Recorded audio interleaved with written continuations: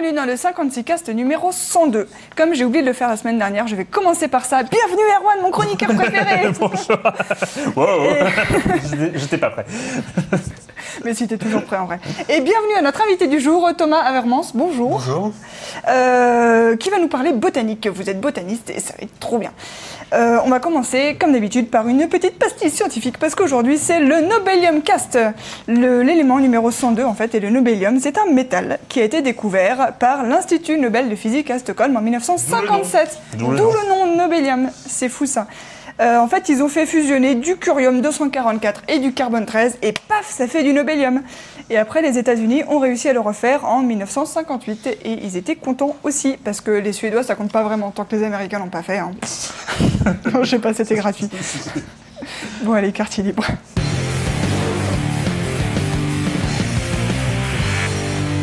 Donc, Thomas Avermans, euh, vous êtes responsable. Alors, j'avais marqué de l'équipe de botanique au MNHN, donc le Muséum d'histoire national d'histoire naturelle. Mais euh, en fait, votre, votre équipe a un nom beaucoup plus compliqué, vous m'avez dit. L'acronyme c'est Système C et c'est une équipe qui fait de la macroécologie, de la systématique et de la conservation. ce qui est beaucoup plus classe, en fait, hein, que ce que je voulais dire au départ. C'est-à-dire C'est-à-dire qu'en fait on étudie, euh, en analysant les, les grosses bases de données de, de biodiversité, on étudie des tendances euh, que pourraient avoir des plantes ou des animaux par exemple en fonction de paramètres environnementaux. Est-ce qu'ils sont sensibles au changement climatique ou des choses comme ça en fait? Des sujets pas du tout d'actualité. Pas du tout. Et, et en fait, vous venez aujourd'hui pour nous parler de l'herbier national. Parce que euh, j'ai reçu un communiqué du MNHN le 14 février euh, qui disait La numérisation du plus grand herbier du monde ouvre de nouveaux horizons de recherche. Et en fait, vous avez publié euh, un papier dans Scientific Data, donc c'est un- une publication du groupe Nature, sur la base de données que vous avez numérisée de l'herbier du muséum. Je résume bien? Tout à fait, c'est exactement ça. En fait, la, publication de ce data paper, ça a permis de, de valoriser un travail que font les, les scientifiques, de nourrir ces bases de données avec beaucoup de beaucoup d'enregistrements, et c'est ça qui est difficile à valoriser dans le, dans le monde actuel. C'est-à-dire qu'actuellement, au Musée national euh, d'histoire naturelle, vous avez plein de- d'échantillons. euh, de- de- d'herbes, enfin de, de- de- de- Oui, enfin, oui, je sais, je sais, je sais. On Et a ben, y a. On va commencer par ça. Qu'est-ce qu'il y a dans cet herbier? Voilà. Alors, il y a de tout. Il y a tout, et il y a même euh, des choses qu'on n'imagine pas trouver dans un herbier. On a des herbiers de poissons, par exemple. Pardon? Donc, à un moment, les, les poissons étaient conservés séchés, surtout les poissons plats, sous le, sous le format d'un herbier parce que c'était plus pratique. Maintenant, ils sont conservés la plupart dans de, dans de l'alcool. Donc, on a des centaines de milliers d'échantillons d'animaux conservés dans l'alcool. On a des millions de plantes. Ah ouais, non, mais là, déjà, je... il y a des animaux dans un herbier. Ah ouais. Enfin, maintenant, ils sont tous dans la, dans la partie de- du muséum consacrée aux animaux, Oui. qui, est la, qui est la zoothèque. C'est la- c'est le pendant de l'herbier, mais pour les, pour les animaux. Mais c'est historique. Enfin, au début, euh, on mettait les, les animaux et les plantes au même endroit dans ce qu'on appelait l'herbier? Non, c'était la, ils étaient stockés, on appelle ça des herbiers de poissons, donc ils étaient stockés sous la forme d'un herbier. Hmm. Ils étaient rangés dans un meuble aussi. euh, qui, qui- En fait, les collections étaient éparpillées un peu partout euh, avant, le, avant, les- avant de rénover le- euh, l'institut. Ok. Alors historiquement, donc ça a commencé super tôt. hein, la, la- la collection de l'herbier, c'était en 1635. C'est ça? Les, ouais, La- le plus vieil herbier fait pour être un herbier, c'est l'herbier de Jean Giraud, donc qui, est- qui date de 1558. Mhm. Donc c'est super vieux. Et il est conservé sous la forme d'un livre. Parce qu'à l'époque, bon, le nombre d'échantillons n'était pas celui qu'il est aujourd'hui, donc c'était plus pratique d'avoir un livre pour, euh, pour consulter les herbiers. Maintenant, on en a plus de 8 millions, c'est vrai que c'est difficile à, De faire des difficile à gérer. Oui, ça, fait, ça fait des gros livres autrement. Par contre, c'était super novateur à l'époque, puisque avant, les gens mettaient uniquement des images de plantes dans les livres. Et pas, de, pas, de, pas physiquement le- Ah la oui, plante. Et donc les plantes qui sont euh, dans cet herbier, c'est, elles ont été rapportées en fait du monde entier par euh, des explorateurs? Bah, on continue d'en on continue d'en rapporter euh, tous les ans en fait. Le- la collection s'agrandit chaque année. On en reçoit aussi beaucoup d'échanges de, de collègues dans d'autres d'autres herbiers mondiaux qui nous envoient des, des, des milliers de plantes. Alors d'une manière générale, outre les poissons, bon, qui sont un peu euh, Qui les- les- les- plus voilà. Alors, on, re- on retrouve donc euh, les plantes, des lichens, des algues, des champignons. euh, voilà, c'est tous les. On trouve toutes ces choses et euh, en fait ça dépend des modes qu'il y a eu au cours des, siècles qui ont, qui ont, servi à constituer la, la collection. À une époque, c'était les plantes tinctoriales, les, c'était les, les, plantes qui produisaient des médicaments, enfin, hmm. des plantes utiles, des plantes qui hmm. produisaient du caoutchouc. Ça dépend vraiment des, des, euh, des, tendances et des modes. Il y a eu aussi une mode à récolter tout ce qu'on trouvait dans les colonies euh, françaises. Donc, vers les années 1950, on, a une, une, explosion du nombre d'échantillons qu'on accueille maintenant dans l'herbier, de, Madagascar, de, toutes les anciennes colonies. Et là, la mode aujourd'hui, c'est... Euh, bah, la mode aujourd'hui, c'est euh, déjà assurer la conservation de ces millions de spécimens, qu'on ne perde pas les informations, parce qu'il y a... Ces plantes, c'est pas uniquement des plantes séchées, c'est aussi des...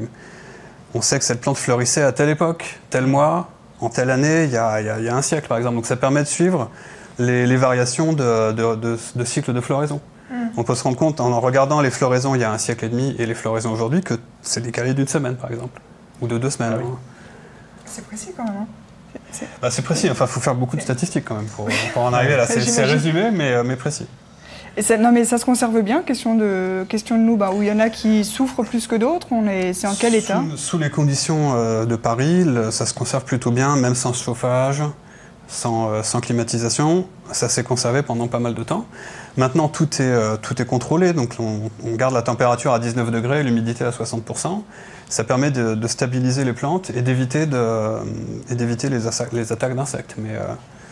C'est très sensible aux champignons, et, aux vrillettes qui viennent manger les herbiers. Et il y a des groupes de plantes qui sont plus, euh, plus prompts à être attaqués que d'autres. Par exemple, la famille des carottes, ça c'est c'est le premier truc à être, voilà, c'est le premier truc à être, à être attaqué. Pardon. Là, c'est attaqué les, carottes, ça. C'est le premier truc. Euh, ah oui. Maintenant que les conditions, donc on a, on a rénové le, bâtiment. Maintenant que c'est rénové, les conditions sont quand même beaucoup plus. Beaucoup plus stables et on a moins d'attaques. C'est ça, c'est qu'il y a eu un, déménagement, une, une rénovation du système de conservation de l'herbier qui a commencé en 2009 euh, C'était un Tetris géant en fait.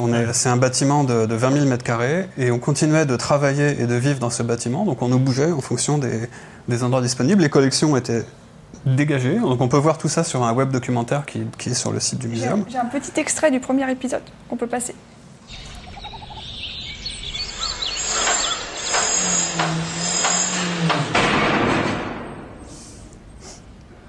Comme ça, on voit à quoi ça ressemble. Hein. L'herbier du Muséum national d'histoire naturelle à Paris conserve des millions d'échantillons de plantes de toute la planète. 8, 10, 11 millions Les botanistes ne savent pas vraiment. Cette collection a débuté il y a près de trois siècles et fait de ce lieu l'un des herbiers les plus riches au monde. Justement, trop riche pour ce bâtiment où des centaines de milliers de fleurs, graines et autres algues séchées n'ont pas trouvé leur place. Il va donc falloir déménager tous ces échantillons, stocker les cartons, abattre des murs, couler des dalles, rénover le lieu du sol au plafond. Pendant ces travaux, les scientifiques doivent pouvoir continuer leurs recherches. Dans trois ans, ici, tout aura changé. Il était temps.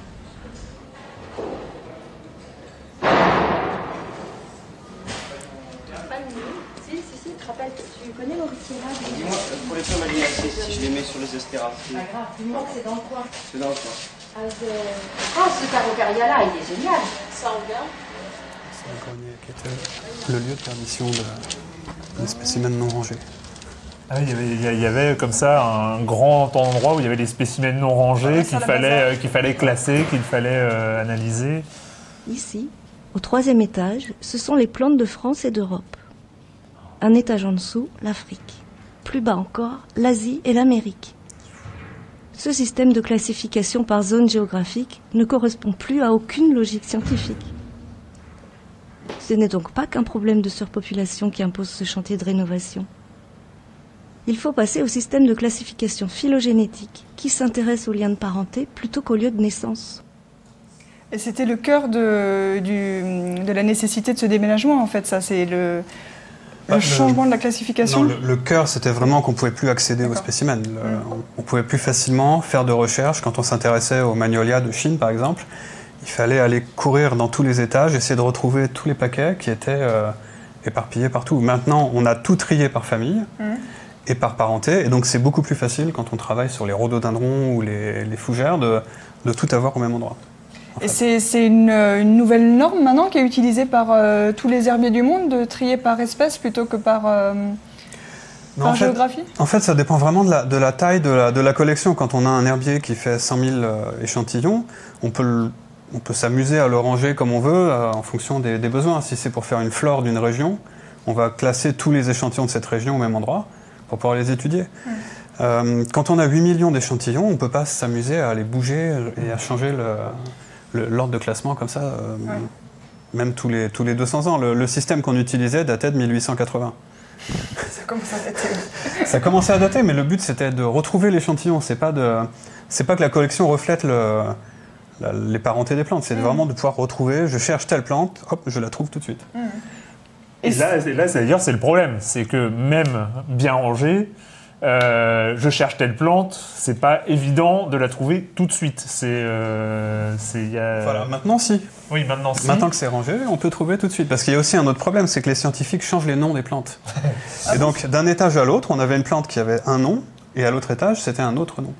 Et pourquoi on change le nom des plantes et eh Parce que la personne a travaillé sur un magnolia de Chine, par exemple, mmh. et quelqu'un d'autre travaille sur un magnolia d'Amérique, et change les noms. Donc l'étage d'Amérique aura un nom correct pour euh, la même espèce et un autre. L'étage Asie aura un autre nom. C'est pas pratique. C'est pas pratique. Et le déménagement donc, a été l'occasion de numériser tout ça Alors, ça a permis de tout mettre sur une base de données et donc de pouvoir accéder très facilement à chacun, des, chacun de ces plantes en fait. Ça n'existait pas la base de données avant 2009 alors avant 2009, il y avait une base de données qui servait à enregistrer euh, les... quand on envoie des plantes en échange à mmh. d'autres instituts. Mais l'échelle de la rénovation et la numérisation, c'était vraiment euh, gigantesque. On est passé à plus de, 100 000 à, plusieurs millions de spécimens d'un coup. C'est-à-dire que vous avez numérisé plusieurs millions, euh, et là combien là? Là, on en a près de 6 millions à peu près. 6 millions. Sur 8 en tout, c'est ça? Alors, on ne sait pas. Ah oui, c'est ça. ça le problème. On a fait tous ceux qui ont un format herbier typique, donc c'est à peu près à 3. Ah tout ce qui n'est pas comme ça, c'est difficile à numériser parce qu'il faut un appareil spécial, il faut mettre au point sur le, sur la bonne partie de la plante et tout. Là, quand c'est au format herbier, que c'est plat, mm. le scanner se débrouille euh, et, c'est bon. Donc ça, 6 millions d'échantillons sont passés comme ça. Maintenant, il reste toutes les mousses qui sont chacune emballées dans un petit sachet. Les champignons, qui ne sont pas des plantes, mais qui sont quand même historiquement dans l'herbier, qui sont aussi en 3D. Tout ça, il faudrait les prendre en photo sur fond blanc. Tout ça, il euh, faut les prendre en photo. Les scanner en 3D. Voilà, et ça, ça prend un temps considérable. Mm. En plus, ça risque pas de les abîmer, euh, ça risque de les abîmer, et puis on risque de perdre. C'est pas forcément la lumière, mais c'est les manipulations en fait. Hmm. Et, le, et les, informations qui sont sur les étiquettes sont aussi, sont aussi précieuses. Hmm. Et donc, si on ne fait pas attention, on mélange les échantillons. Donc, ce qu'on appelle, qu appelle, numérisation d'un herbier, finalement, c'est un scan, c'est une photo haute définition de, de l'ensemble, c'est ça? En fait, ce qu'on a pris, c'est une photo. On a, il y avait un système qui est aussi disponible, qu'on voit illustré sur le, site web. C'est un, une chaîne, en fait, un tapis roulant avec les échantillons d'herbier qui sont photographiés 3 par 3. Ah et ensuite, chacun, chaque image, on lui attribue son nom scientifique tel qu'il était euh, sur, la, sur la pochette et la zone géographique où on le trouve. D'accord. Et maintenant, toute la base de données est disponible via une interface euh, sur le site du MNHN où on peut chercher par, euh, par nom d'espèce. Tout est disponible sur la. Sur, la, donc là, on peut chercher par euh, collecteur. Par exemple, si on s'intéresse à quelqu'un qui a collecté à Madagascar, on va, on va rechercher toutes ses récoltes. Alors par contre, le problème, c'est que toutes les informations qui sont sur la planche d'herbier, donc c'est pas seulement la plante, c'est aussi une étiquette. Ah. Et c'est cette étiquette qui a une grosse importance pour les scientifiques, puisqu'elle comporte les, on, peut le voir, elle comporte les informations sur qui a récolté cette plante, à quel endroit, quelle époque, quelle saison. Euh, est-ce qu'il y a d'autres informations sur l'abondance? Est-ce que c'était une plante rare? Est-ce qu'il a eu du mal à la trouver ou pas? Euh, Et toutes ces informations n'ont pas pu être informatisées pendant, le, pendant le, processus de rénovation, puisque ça demandait de lire attentivement et de comprendre chacune de ces étiquettes. Hmm. C'est-à-dire qu'en fait, auparavant, dans, votre euh, base de données de classement, on va dire, hmm. vous saviez à peu près en fonction du nom d'une plante, où est-ce, dans quel tiroir, dans quel endroit de la collection le trouver même pas. Plus ou moins. Non, c'était. Non, non, non. C'était. Euh, c'était euh, donc. Euh, tout était physique. Donc, si on cherchait une famille, il fallait trouver la case physiquement dans l'herbier de, cette famille de plantes. D'accord. Donc en fait, si c'était pas dans la base de données, il n'y avait aucune information. Donc là maintenant, tous ces, tous ces systèmes d'herbiers euh, scannables, en- tous, ceux, tous ceux qui sont scannables, sont dans une base de données uniquement photographique. Ouais. Et mais aujourd'hui, vous manquez de métadonnées en fait. Voilà, donc il y a une partie, il y a, il y a 500 000 enregistrements qui ont une métadonnée associée, mais le reste, euh, il, faut les, il faut nourrir cette base de données en fait. Et ça, c'est forcément à la main, puisque c'est des. C'est forcément à la main, il faut forcément réfléchir. On a tenté l'OCR, la, la reconnaissance de caractère, mais euh, je ne sais pas si on peut voir des, des- des exemples d'étiquettes, mais quand c'est tapé à la machine, c'est déjà compliqué. Quand c'est écrit à la main, il y a un siècle ou deux, les ordinateurs n'arrivent pas à comprendre ce qui est marqué. D'accord. Et alors, la solution que vous avez trouvée, c'est Les herbonautes. les La herbonautes, science participative. un site collaboratif pour déchiffrer les étiquettes. Donc. C'est ça. Et ça, c'est vraiment une révolution puisque ça permet à, à, la, à la communauté, mais pas seulement scientifique, de s'approprier ce, travail et de, et de pouvoir contribuer à la, à la science en fait. C'est-à-dire qu'il n'y a pas besoin de connaissances préalables. Moi, je pourrais aider à. Alors, il n'y a pas besoin de connaissances préalables, mais il faut quand même arriver à, à s'en sortir euh, entre les différents noms de régions de France il y a deux siècles, ou ce genre de choses en fait. Ça dépend vraiment de... Ah oui, parce qu'il y a des noms de pays et de régions qui n'existent plus sur les On, on a des plantes du monde entier qui ont été récoltées par des, des scientifiques du monde entier. Donc on a des étiquettes écrites en chinois, en, écrites en manuscrit, en chinois traditionnel manuscrit. On a, on a des choses qui sont difficiles à lire. Ah, donc on peut avoir besoin de spécialistes uniquement, par exemple, du déchiffrage euh, du chinois Par manuscrit. exemple, ouais, ouais. Ouais, Ou des, des noms japonais euh, anciens. Enfin, tout est. euh, D'accord. C'est vraiment des, des niches très spécifiques et, et tout est organisé par projet en, fonction justement Voilà, de ces caractéristiques. sur le, quand on arrive sur la page, par exemple, on peut choisir. Donc, c'est des les projets, c'est les missions, c'est ça qui Voilà. s'appelle sur le site. Alors, il y a des missions sur. Là, il y a euh, et sur les fagacées, la famille du chêne, qui est une famille euh, gigantesque en Asie.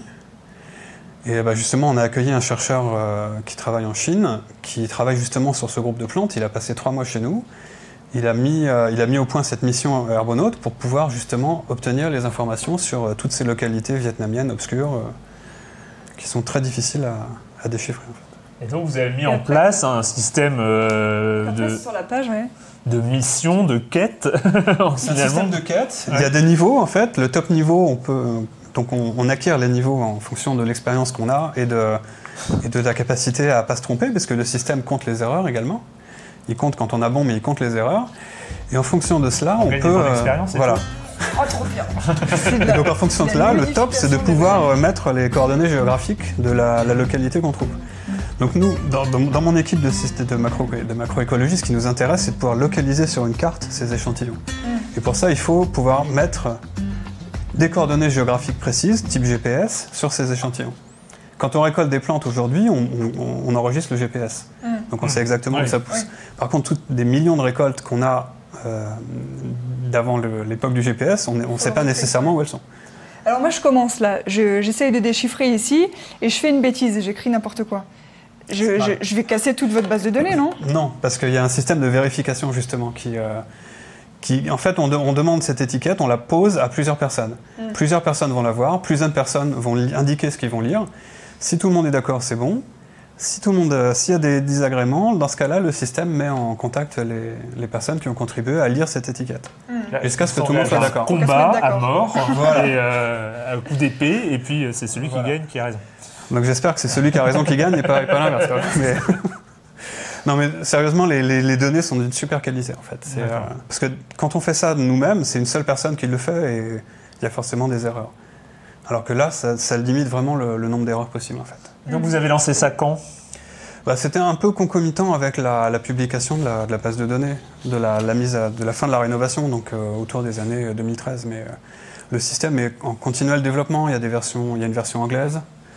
Euh, J'aimerais bien qu'il y ait une version chinoise pour toutes les, Ouais. toutes les plantes asiatiques euh, du Mekong, parce qu'on a des millions, de, des centaines de milliers d'échantillons de, de cette région. Donc voilà, c'est. euh, Il y a beaucoup de monde qui est inscrit sur ce site? Je n'en ai aucune, Aucune idée, idée. de- du, nombre de, du nombre de personnes. En fait, on attend, euh, on compte les contributions. Donc, par exemple, pour les fagacés, on attend à peu près 60 000 contributions Ah oui, pour, euh, pour mener à bien le, le projet. Si c'est un petit projet, on a besoin de moins de, moins de contributions. Mais elles arrivent vite quand même, il y a un rythme. euh, Oui, c'est assez, où ça avance c'est assez trop dense, pour oui. vous. Ouais, Non, non, ça, ça- ça Ça va, va très vite. ouais. Ça dépend de la difficulté de la zone, en fait. Hmm. Si c'est que des étiquettes écrites euh, il y a deux siècles pour des localités très difficiles, euh, en Asie par exemple, c'est plus difficile de- que pour les, des localités françaises. quoi. Et alors j'ai cru voir que les missions en fait sont chapeautées par des chefs de mission. Il y en a un qui fait une thèse, donc c'est des les missions correspondent à des, à des, recherches individuelles? Voilà, les missions correspondent à des recherches parce qu'on ne peut pas mettre les 8 millions de plantes dans, dans le système et débrouillez-vous. Il faut mm. hiérarchiser un peu le, le, système. Donc il y a des choses, mm. c'est des questions de priorité scientifique. Quelles sont les questions scientifiques que, les, que, les, que, l'on se pose en fait? Donc c'est pas forcément des gens du muséum, ça peut être des étudiants qui sont dans d'autres, d'autres régions mais qui ont besoin des infos de nos, collections. Mm. C'est, euh, ça, ça, dépend vraiment des priorités. Il y a les plantes tinctoriales, il y a les chênes, il y a je vais bientôt faire les bambous. Et donc, en fait, mais ça répond à. Parce que le but final, c'est de, euh, de, ces plantes numérisées, en fait, c'est d'avoir une très grande base de données, très bien renseignée, avec toutes les métadonnées, les infos euh, de. Le, oui, le but, c'est d'avoir la base de données de la plus haute qualité possible, mais c'est aussi de pouvoir s'en servir pour répondre à des questions scientifiques. Donc, par exemple, pour le, projet bambou que je vais essayer de lancer euh, dans les mois qui viennent, c'est essayer de comprendre quel est le cycle de floraison des plantes. Donc, tous les échantillons qu'on a sont en fleurs. Donc on sait que telle espèce fleurissait il y a 200, 200 ans par exemple, ou 70 mm. ans. Vous savez que les bambous fleurissent avec des cycles très, euh, très variés. Par exemple, tous les 70 ans, dans le monde entier, il y a une espèce qui va fleurir. Et donc ce qui m'intéresse, c'est ces cycles-là en fait. Oui, donc les bambous. Ah, d'accord. donc, on a... donc on a des plantes qui fleurissent tous les ans. Il y a des bambous qui fleurissent tous les ans, mais il y a surtout des bambous qui fleurissent de façon totalement incompréhensible. Et donc tous les 70 ans, tous les 100 ans, par exemple, on va avoir une floraison de toute la population ou de tous les, tous les, toutes les clones connus de cette plante. Partout dans le monde. Partout dans le monde. Si c'est un clone. une question d'atmosphère ou de, Non, ça sent plutôt le génétique. Mais... Ah Puisqu'une une bouture qu'on cultive aux États-Unis, en France et en Chine va fleurir en même temps. Ah oui. Ah même, même si on la cultive en Argentine, par exemple. Donc, ils communiquent. Peut-être qu'il y, a un système de communication, on n'en sait rien, mais c'est peut-être une horloge Et donc, au bout de 70 ans, bah, plus ou moins un ou deux ans évidemment, mais tout va fleurir, tout va mourir. Les graines vont tomber et ça va repousser. Il faut qu'on fasse un 56 cas sur les bambous. Sérieusement C'est clair, c'est clair. donc ça, c'est un drame pour les pandas, par exemple. Quand, quand, quand tous les bambous fleurissent et meurent, qu'est-ce qu'ils mangent? Oh là là oh, Et les producteurs de pousses de bambou, qu'est-ce que quand toute la population, la plantation de bambou fleurit et meurt, qu'est-ce qu'on met dans les, dans les boîtes de pousses de bambou donc c'est une question qui intéresse pas seulement euh, moi en tant que scientifique, mais ce qui intéresse aussi la, ah bah la société, savoir essayer de déterminer ces cycles de, floraison en fait. Et parce que pour l'instant, on n'en sait pas grand-chose. Pour l'instant, on n'en sait pas grand-chose, non. Et une, une, des façons de regarder, c'est on a deux siècles d'histoire de collection de bambou. On sait que ça fleurissait telle année, telle année. Maintenant, il faut euh, essayer de renseigner cette, euh, ces dates de floraison, mettre ça en lien avec un spécimen, une localité sur la carte. Et voilà. en fait, vous faites du big data botanique. On fait du big data botanique, voilà, c'est ça. Je participerai au projet bambou dès le premier On travaille aussi sur la, conservation. Est-ce qu'on peut prédire si une plante est en danger en fonction du nombre de, de choses que l'on a dans l'herbier? Il y a beaucoup de plantes qu'on a qui sont connues que d'une seule feuille. Par exemple, on connaît que pour beaucoup d'orchidées de Madagascar, on n'a qu'un seul échantillon. Et c'est tout. Personne n'a jamais rien récolté depuis un siècle. Et là, et le, on se rend compte en numérisant l'herbier que c'est le cas de deux tiers des plantes. Ah oui. Voilà. Et donc, est-ce que c'est quelque chose d'extrêmement rare ou est-ce que c'est quelque chose de commun mais que personne n'a jamais récolté hmm. Et donc, on essaie de déterminer en fonction des métadonnées, justement, qui a récolté, à quel endroit, à quelle année, le type de plante, sa famille et tout ça. Avec un algorithme, on essaie de, de prédire des choses. Et au niveau de la réutilisation de toutes ces données, alors j'ai cru voir qu'il y avait une licence Creative Commons. Qui, couvre quoi? C'est les métadonnées, mais aussi les photos? Ça couvre aussi les photos, mais il faut quand même pas oublier de citer le muséum quand on les utilise. Oui, parce que la base de la licence Creative Commons. Voilà, c'est juste ça en fait, mais il n'y a pas de. Non, mais c'est super déjà. Il n'y a pas d'aspect commercial euh, autre. Hmm. D'accord. Euh, et, donc, du coup, l'objectif de, cette, de ce grand mouvement un peu de ludification de, de, de, de la numérisation, du tagage finalement de, de, l'herbier. Le but à terme, c'est d'avoir Ou c'est d'avoir le maximum en fonction des projets Ou c'est. Euh, le maximum en fonction des projets, mais le but final est d'avoir tout évidemment, mais le, ça demande quand même beaucoup de contributions, parce qu'il faut que trois personnes voient chacune des 8 millions de planches, ça fait beaucoup de, beaucoup de contributions. Mais est-ce que c'est un projet unique au monde? Il euh, y, a, des, des, tentatives un, un, peu... C'est un projet unique au monde, oui pour l'instant. Mais les autres euh, herbiers dans le monde n'ont pas. En fait, on est les seuls à l'avoir compté et, scanné en fait. Ah dans tous les grands herbiers. Alors les petits herbiers l'ont fait bien sûr, mais euh, tous les grands herbiers euh, de plus de 7 millions d'échantillons ne l'ont pas fait. Donc on, dit qu'on est le plus grand du monde, on n'en est plus ou moins sûr. C'est ce que dit l'index de tous les herbiers du monde qui est, qui est à New York. Mais on est les seuls à l'avoir compté, en fait. Eh, beau gosse, le muséum. c'est ça. Mais on a besoin. L'intérêt de ce projet, c'est aussi de, communiquer, puisque qui sait qu'on a le plus grand herbier du monde à, Paris? Ah bah pas grand monde. Quand hein. on passe dans la rue Buffon au Jardin des Plantes, on est loin d'imaginer qu'on a le, plus grand herbier du monde qui est là, en fait. Oui, et puis là, là, ça permet justement d'y avoir accès, de découvrir, euh, de découvrir comme ça toute une collection euh, de, trucs assez dingues, de, trucs qui ont été récoltés il y a deux, trois siècles. Il y a des choses disparues, il y a, il y a vraiment plein de choses en fait. C'est une histoire de la, de la, vie, euh, la vie biologique comme ça. C'est une histoire de la vie biologique, mais c'est aussi une histoire de, des scientifiques, puisque euh, on peut voir les modes en fait, et, les, euh, et ce qui s'est passé dans le monde et ce qui a conduit, ce qui a, ce drivé le, travail des scientifiques. D'accord.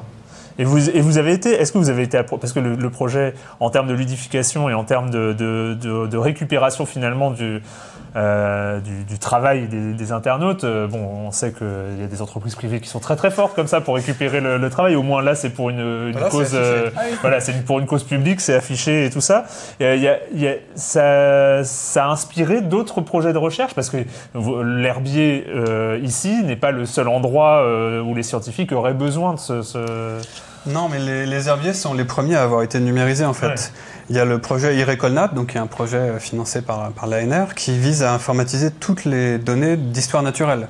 Donc là, on passe à une autre échelle. Donc à côté de l'herbier euh, où est mon bureau, on a la collection d'insectes, où il y a 50 millions d'insectes, chacun sur son épingle, avec cette petite étiquette miniature. Et donc là, c'est un, un, autre défi, en fait. Et donc ça, par contre, plusieurs... non plus avec les petites... Voilà, euh, c'est le problème. Donc plusieurs instituts d'histoire naturelle essaient de, de, trouver une solution qui soit cost-effectifs qui permettent de, s'en sortir financièrement et d'informatiser ces millions de spécimens. Parce que euh, naturellement, on pense qu'il faut, il faut un scan 3D. Quoi. Enfin, c'est, euh, bah, il faut un scan 3D ou alors il y, a une solution, c'est de prendre une photo de la boîte et de repérer chaque échantillon dans cette boîte et de, et de lier les informations à ça. Mais euh, il faut quand même que quelqu'un lise chacune des étiquettes. Et là, il y aura peut-être besoin de refaire un nouveau grand jeu. un grand jeu sur les insectes. Voilà. sur les types de pucerons du Japon, par exemple, où il y a 200 000 pucerons sur une, sur une épingle. non, je caricature, mais c'est ah quand même pas très loin de, pas très ah, loin Ça marcherait, il y a beaucoup de passionnés d'insectes. Hein. Et euh, ça, il y a beaucoup de passionnés d'insectes, et c'est mm. aussi des problèmes de société. Euh, étudier les, les, invasions d'insectes et tout ça. Mm. Eh ben. Super. bon bah, c'est prévu pour quand le projet bambou? Parce que je... Le projet bambou, il faut que je m'attelle à ça. bah, vous nous préviendrez. Bah, merci beaucoup. C'était super chouette et rendez-vous sur les herbes l'autre du coup. Euh, on va finir par une vidéo d'animaux mignons, comme d'habitude.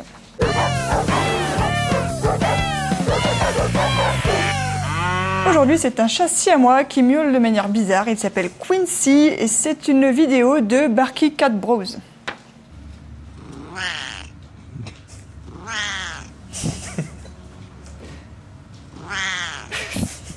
Dans 200 ans, il y aura des internautes qui se retrouveront face à ça et qui devront le taguer. Hein, voilà pour. Euh... Décrire une nouvelle espèce. une nouvelle espèce. On se rend pas compte. Le mien miaule un peu comme ça. Tu crois que c'est une nouvelle espèce? Ouais, je sais pas. suffit pas. On, en, on en reparlera dans 200 ans. Ok. Voilà, c'est ça. Euh, merci encore et puis à la semaine prochaine. Salut